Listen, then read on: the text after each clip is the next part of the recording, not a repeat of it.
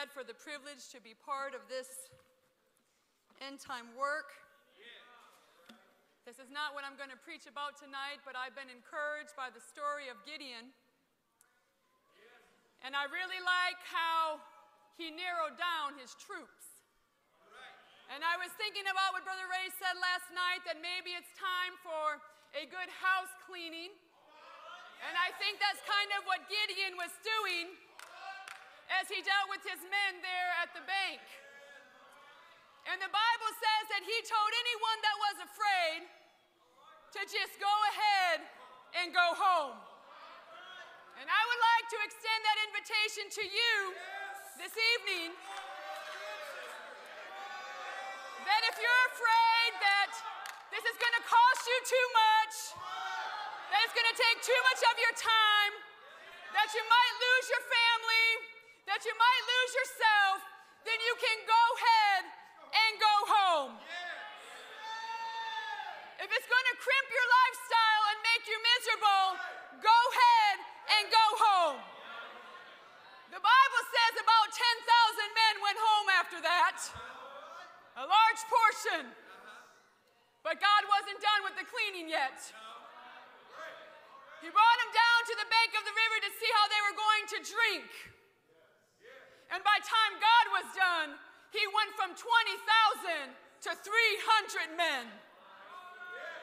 And this evening, I would like to say that if God would need to minimize us to 300 people that were sold out for this cause, no matter what it took, behind Gideon's vision and Gideon's burden, we could accomplish more with that than 20,000 cowards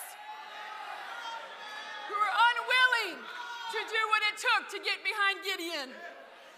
And I'm encouraged with that this evening. I know it looks like they've got a lot of people on us, but with God, 300 is the majority. And I believe this evening we have more than 300 in this room that are willing to pay the price.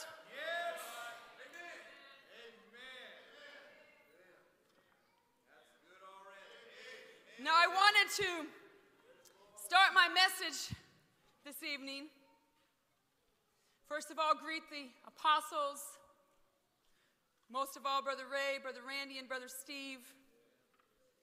I also want to greet the apostles' children. Brother Amos, I told you I would one time. I want to greet the apostles' children. Unless you're an apostles' child, you have no understanding of what these children go through. And I also want to greet the apostles' wives and and thank them for what they're doing for the work of restoration. And finally, I want to greet my family, my children, and Brother Alfred, who's not here, and trust that God is going to bless them richly for the sacrifice they're making for the gospel. And now I'd like to turn to Romans chapter 12. I ask you to pray for the word of God. Romans chapter 12, In verse 1, I beseech you, therefore, brethren, by the mercies of God, that ye present your bodies a living sacrifice, holy, acceptable unto God, which is your reasonable service. And be not conformed to this world, but be ye transformed by the renewing of your mind, that ye may prove what is that good and acceptable and perfect will of God. We see here in the scriptures that we are commanded as the children of God to not be conformed to the world. But instead of being conformed, we are to be transformed by the renewing of our minds. We are pressured on all sides around us to conform to the agenda that the kings of the earth have put out. Conform means to conform oneself to another pattern, to fashion alike, that is to conform to the same pattern and to fashion according to. This evening, brother and sister, you are being pressured to become like the world. There is a force that is put on you, saint of God, even in this room, to be like the world. The billboards that are on the side of the road, the clothes that are being sold in the department stores, the music that is being played around us is all an attempt to get you to conform to the world. Conform means to act in accordance with expectations, to behave in the manners of others, especially as a result of social pressure. And if you're a human being this evening, you have felt the pressures of the world to get you to be like them. But the scripture here instructs us not to be conformed to the world, not to be like those that are out in the world, but rather to be transformed. How can we be transformed? A transformation is different than being conformed. Because to be conformed means to become like, but to be transformed means to actually be moved across to another place, to another side, over and beyond. It means to change the nature, condition, or function of. So, in a world where we are being pressured on all sides to conform, how are we able to transform? And I believe the answer is in verse 1 that ye present your bodies a living sacrifice. What I like about this verse goes right along with what Brother Ernest preached last night that you present yourself a living sacrifice. God is not chasing the goats around to try to get them onto the altar. But it is your job to present yourself a living sacrifice, holy and acceptable unto God. And in that living sacrifice, time deal. It's not a momentary thing that happens and then you're done. But you remain living because it means the sacrifice continues on until the Lord's return. Reasonable service. You need to be able to change forms. As we consider being transformed or conformed, the word that is in both of those is formed. And, brother and sister, tonight you are being formed by something. You are either being formed by the pressure of the world or you, being, or you are being formed by God's holy apostles. I was thinking about this today that there is a that you must fit into. You've got two options the form of the world or the form of the doctrine of the apostles. And I'm sure that if you are a construction worker or if you've made a cake, the form is already there. All that is left to do is pour yourself into it, presenting yourself a living sacrifice. It is not for you to decide which direction you're going to go, but rather which form you're going to choose. And it is only a reasonable response to what God has done on Calvary for you to present yourself to a transformation from the worldly mind frame to a glorious work of God.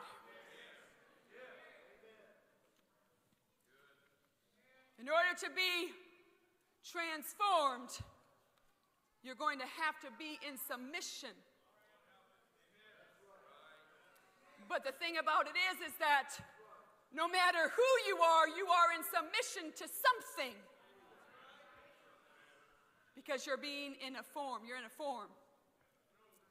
Now, it doesn't take any guts to be conformed to the world. Young people, it doesn't take anything to wear skinny jeans and to have a stupid hairdo and to listen to stupid music. That is nothing. That is what everyone else in the world is doing.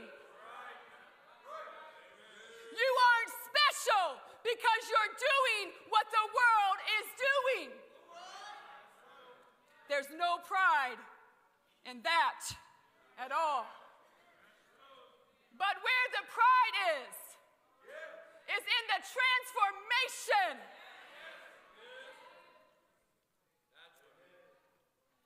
And I feel like, as the saints, individually and as a church collectively, we find ourselves in a critical time.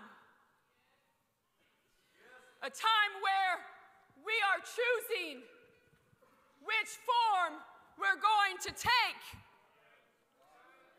And in this critical time, young people, there is no desire whatsoever for us to blend in with the world.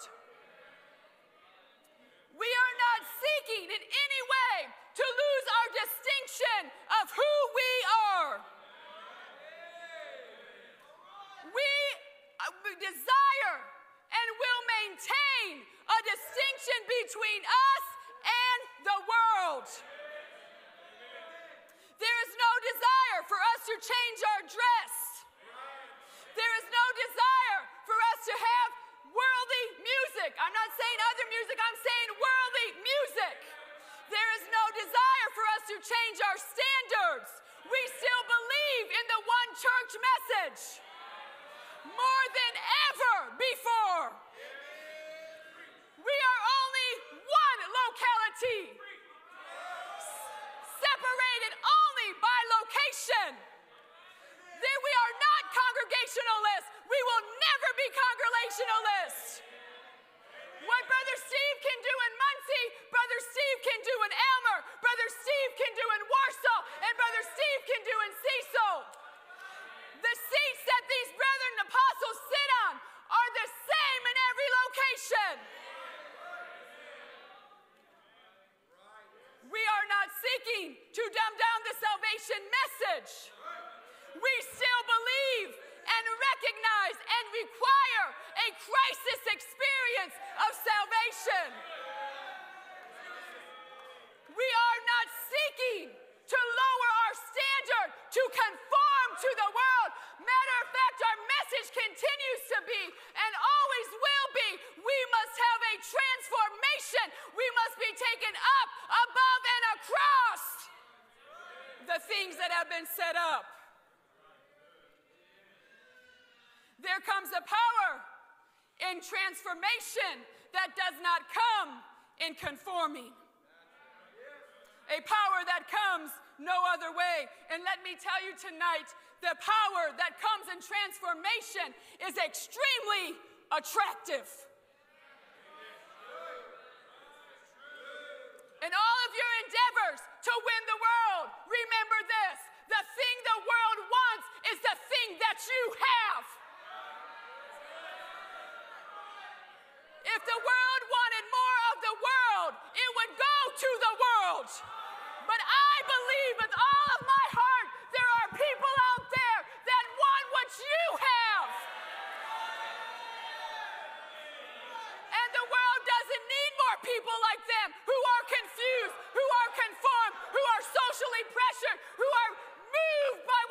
media tells them to do, and wearing clothes like what the billboard says, and listening to the music that the kings of the earth have set up.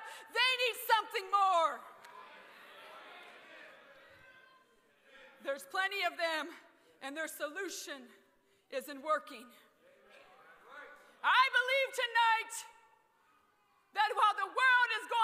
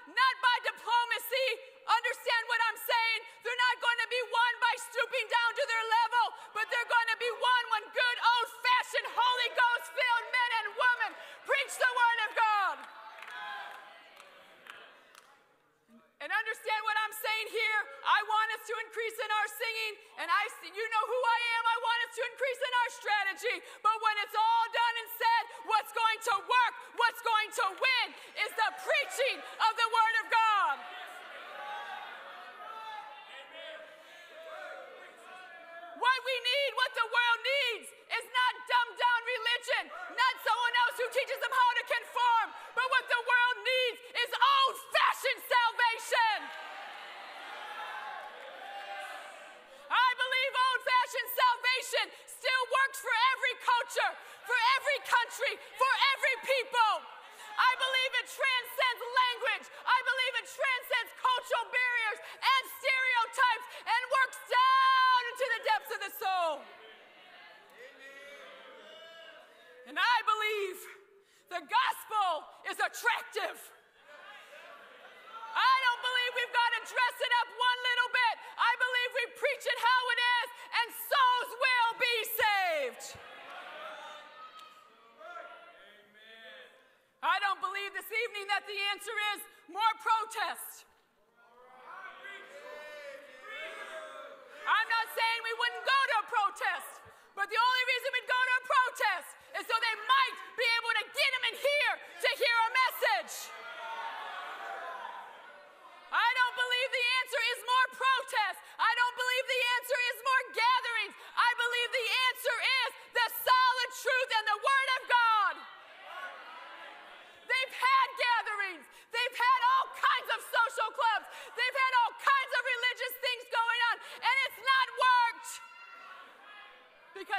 Only conf- it's only conforming to what's already there.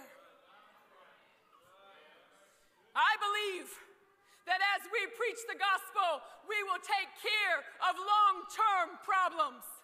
But protests and volleyball games are short-term. And when it's over, you're left with the same carnal, sinful heart. But with the preaching and the word of God coming forward, there can be a regeneration of those souls. Now, Paul says, I am not ashamed. I want you to understand this. I am not ashamed of the gospel of Christ. What gospel is he talking about? Is he saying he's not ashamed of Matthew, Mark, Luke, and John? I'm talking about the written word. Not only, he's saying, I'm not ashamed of the men, Matthew, Mark, Luke, and John. I'm not ashamed of what they preach. I'm not ashamed of what they do. What is the gospel to you tonight? Is it some mystical way up there gospel that touches you, never holds you accountable? Paul said he was not ashamed of the gospel. I'll tell you tonight what the gospel is. The gospel tonight is Brother Ray D. Brother D. Ray Tinsman. The gospel tonight is Brother Stephen Hargrave and Brother Randy Hargrave and these other holy brethren and apostles. Are you ashamed of these brethren? Because if you are, you are ashamed of the gospel. Are you, un- are you unwilling to profess me in public and say, That is my apostle? If you are, you are ashamed of the gospel of Jesus Christ. And being ashamed doesn't just mean you say, I'm ashamed, because none of you in this room would do that, probably. But you're ashamed when you budge on the standards. You're ashamed when you live on the edge of the world. You're ashamed when you hope people don't find out you're part of the church of God.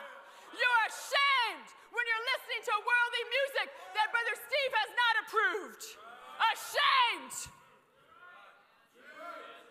You're ashamed when you sisters don't look like me, but you got to have your own style and your own thing and your own way. You're ashamed of the gospel of Jesus Christ.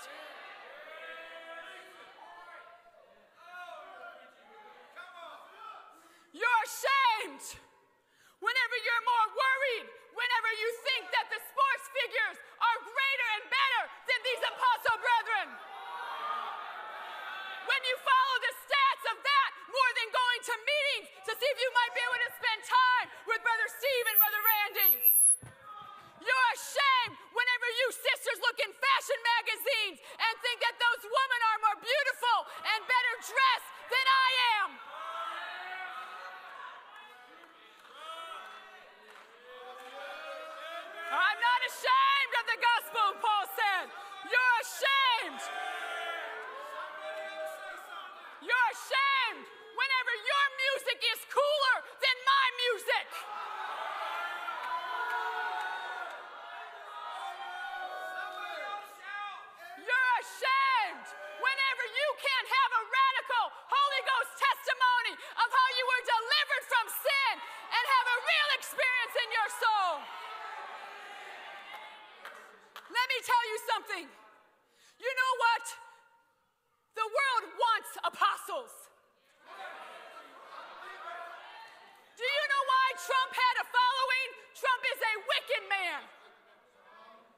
A leader.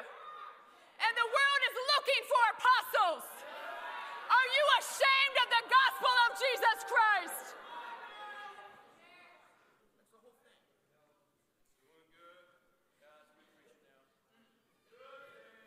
Too many of you are being pressured to be conformed to the world. You're a little bit ashamed of us when you go to the grocery store. You're a little bit ashamed of us on the job. You're a little bit ashamed of us with that new contact, hoping they don't find out all about the church of God right now. I'm ashamed. And some of you need to be picked up and transformed. Now, I want to say something to the saints besides the apostles. You don't need to teach us anything.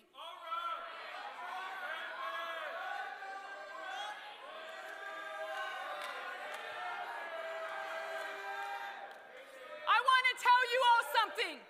You aren't going to lead the way in standard changing.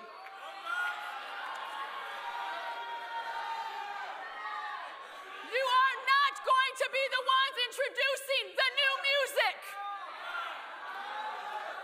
You young people should not have Spotify and iTunes and Apple Music and all of that other garbage. And I want to say this too, with Brother Steve's permission. I gotta wait, Brother Because I gotta make sure I'm okay. Brother Steve, I want to say this too. They're not going to interpret your message for the church.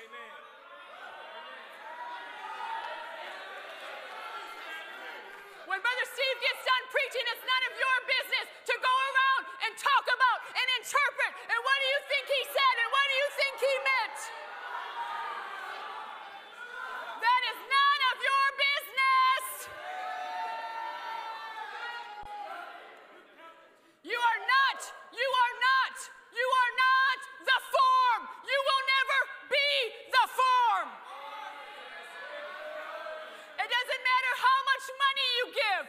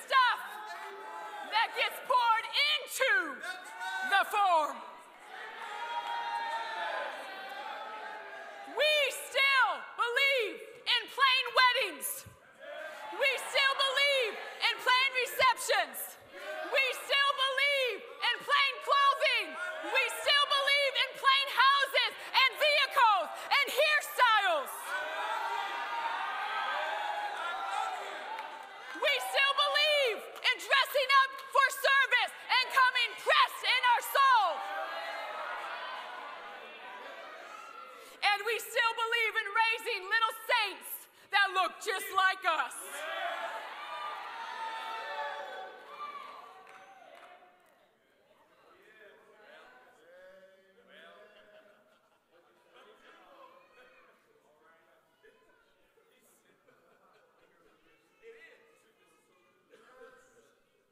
We have not given you permission to budge on anything. listen here, we apostles might be able to do something you'll never be able to do. You know why? Because you're the children.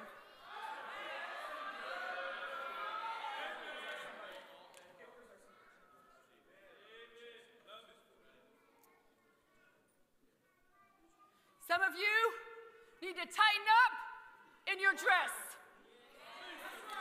Some of you need to tighten up in the watches you're wearing of you need to tighten up in the hairstyles you have. Some of you need to tighten up in the clothes that you have on. Some of you need to sell out your fancy cars and get some old clunkers.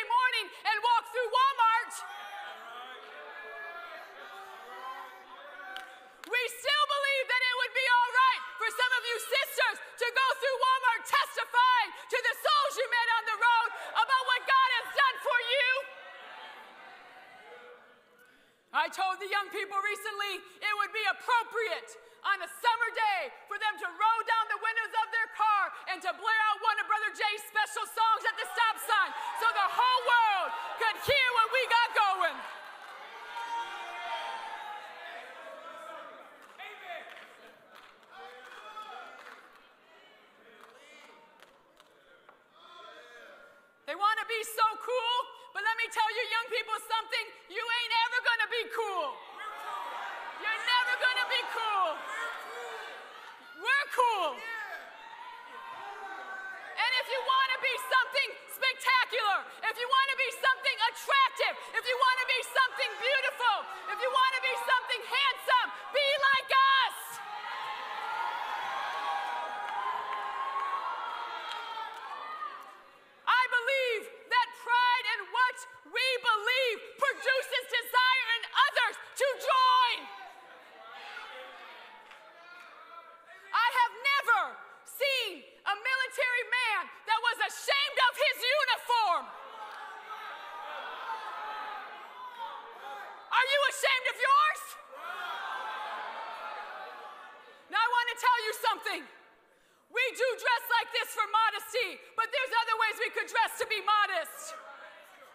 we dress like this for distinction. You know why we dress like this?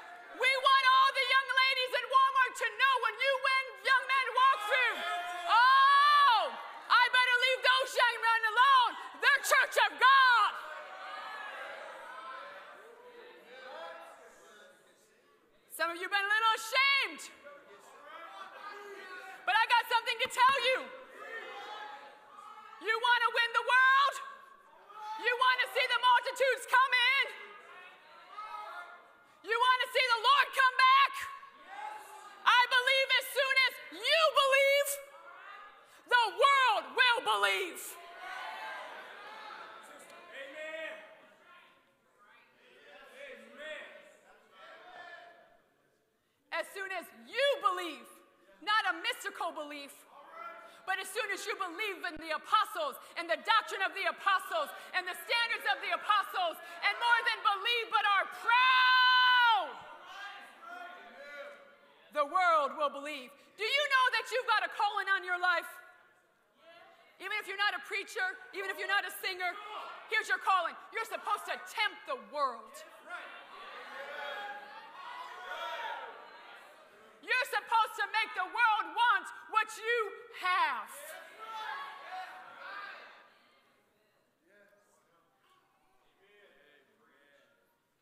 Salvation is attractive.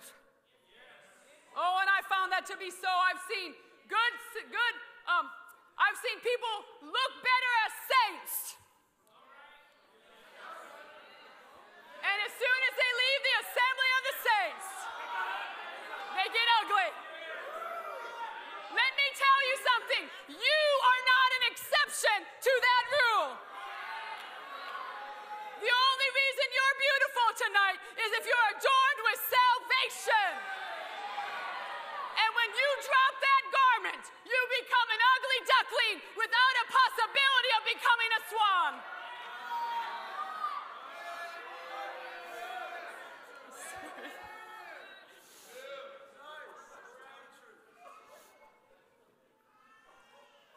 I didn't really mean to say that, it just came out.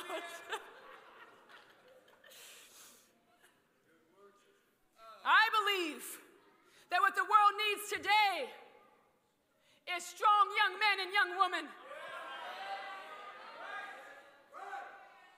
that can show them what it means to really be saved.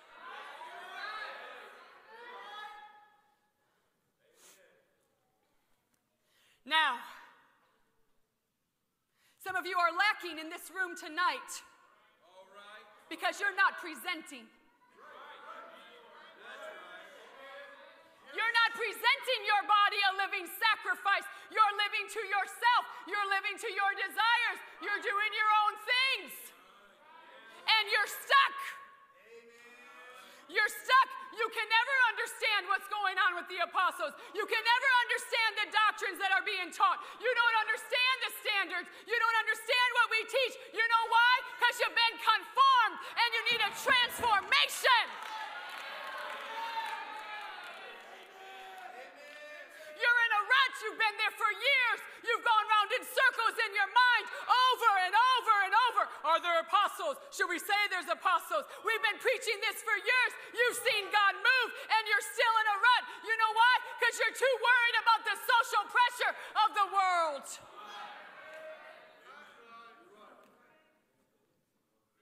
Your family's stuck. And you know what? You're going to stay there unless someone comes along. Some of you need picked up from the pit you've dug for yourself and translated over and over and over again. And this evening, one of my favorite songs that I haven't heard live for a while, but maybe I'll hear live again soon, is called That's What Angels Are For. You know the scripture that says that He will pick you up. Angels will pick you up lest you dash your foot against a stone. The call today is not to be conformed. The call today isn't even to change yourself, but the call today is to allow yourself to be picked up and to be translated. You've got to let the angels get their hands on you. Some of you afraid of the angels because maybe you've been hurt in the past. Maybe people haven't been good to you. Maybe your father wasn't good to you. Maybe your mother wasn't good to you. Maybe you were in Babylon and there was a bad ministry there. But, brother and sister, you have not come to that place tonight, and your excuses are no. If you expect to escape, this world, if you expect to escape the form the world is constantly chasing after to throw on you, to throw on your mind, to mess with your soul, you must allow the angels to grab a hold of everything about you and pick you up. Some of you haven't been changing from glory to glory. And you're waiting for some great big miracle. You're looking for some great big thing to do. And you know what it is? It's the little thing that's right in your hand.